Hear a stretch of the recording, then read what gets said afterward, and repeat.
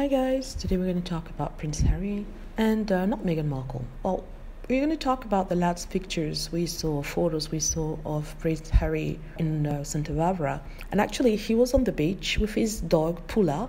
So he was just living his best life, being like free of any toxic comment about his life.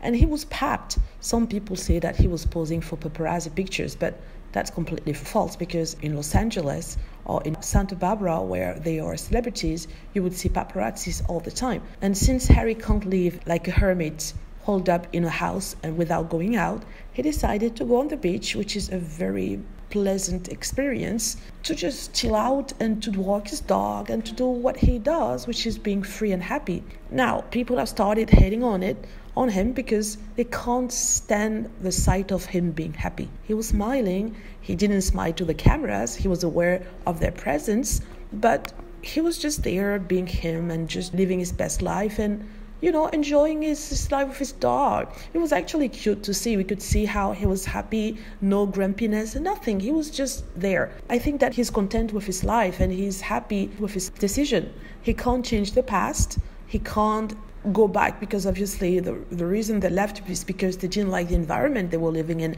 And it was quite a toxic environment with all the media the press after them.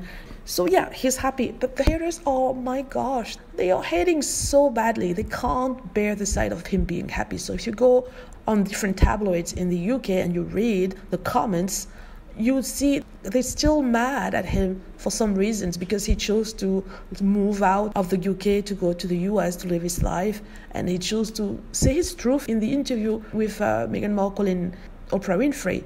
So I think it's, it's just laughable to see how people react because a man decided to move abroad with his family, which is what we all do all the time. People do all the time.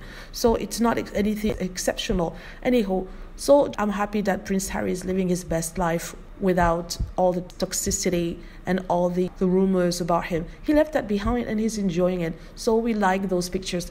Let me know what you think. Hope you like the video. Feel free to click on like if it's the case. Subscribe for more videos and click on the notification bell to be notified when I post a new video. Thank you.